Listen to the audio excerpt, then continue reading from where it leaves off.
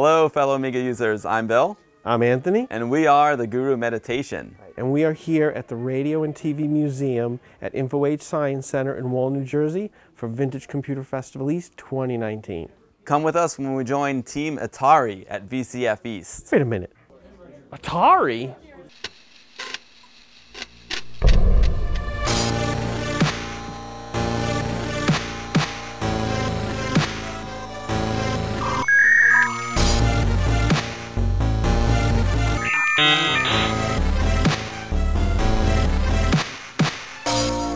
Guru Meditation.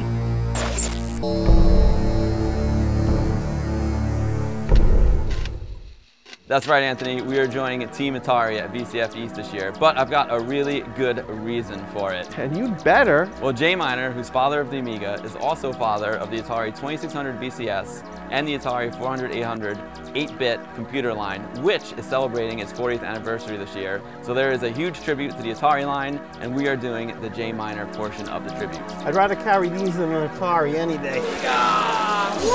The invasion of the Atari exhibit by the Amiga. The best Atari machine has arrived. Oh! Number two. I spy a 1084. Attack! Blitzkrieg! We're not done yet, though. We're not done yet. Jay Miner, father of the Amiga, Who's that guy with hair? Canon XL1. Amiga!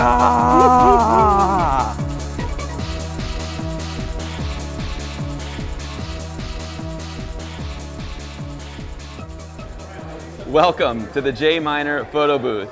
This was a wild and crazy idea I had to make our exhibit a little bit more interactive. Folks can come up and get their photo taken with the father of the Amiga, Mr. Jay Miner himself. Now, you may notice there is another character in this picture over on the left, and that is 15-year-old Amiga Bill. That's right, this photo was taken by my father at AMI Expo 1990, and obviously it was one of the best days of my life. I get to meet the man himself, and he spent like 20 minutes with me just talking about Amiga, talking about the user group that I ran, the Westchester Amiga user group, and it was super generous of him to give me his time, and he was one of the nicest people I've ever met in my life. I'm gonna come around and I'm gonna show you guys exactly like what I'm doing with this photo booth.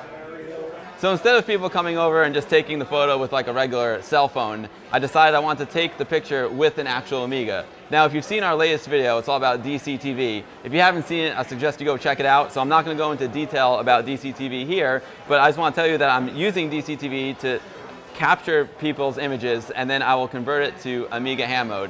DCTV is a 24-bit capture device that works with all Amigas and it uses some trickery in the NTSC video signal. But that's all explained in our video. But for now, I am going to capture my main man, Thierry Mazzolini from AmigaVideo.net. So what I do is I have people put their head in the hole. They look into this Canon XL1 video camera and they have to freeze for about seven seconds. So I give them a little countdown. All right, Thierry, you ready? I'm gonna count them down. Three, two, one, freeze. And now the DCTV is doing the scan. It's gonna take about seven seconds. And now it's a previewing display, and there it is. We've captured it successfully. this is a 24-bit DCTV image. Uh, you can see it's very photorealistic. And now I go into the uh, convert feature of this program, and I convert it to the classic 4096 color Amiga ham mode, and then I email it to everyone who gets their picture taken in the booth.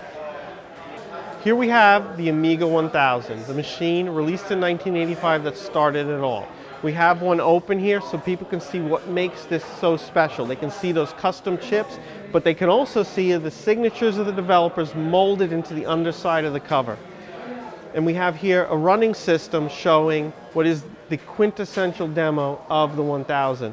Every Amiga person knows this. If you love the 1000, you certainly know this demo. This was what was shown at CES before the machine was even ready to be sold to get up interest in developers and investors.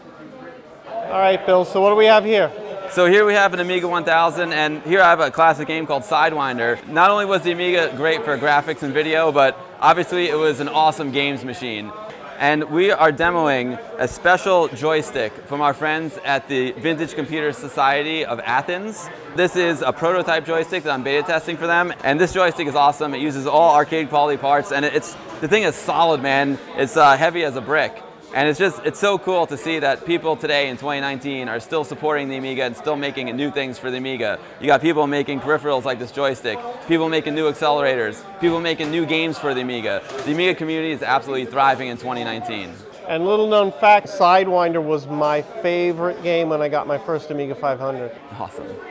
Anthony, you gave me a lot of crap about joining an Atari exhibit, but you're the one who brought the Atari. What's going on here? Hey, well, you know I had to bring something extra special. This is an Atari 800XL teleprompter.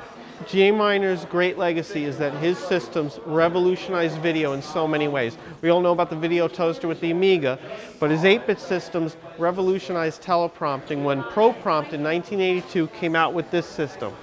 This is a teleprompter and it is the first computerized portable teleprompting system, and in fact, they won an Emmy for it. This company is still in business doing prompting today. I'm here with somebody who in the retro scene probably needs no introduction, Curt Vendel. This year is the 40th anniversary of the Atari 400, 800 computer systems.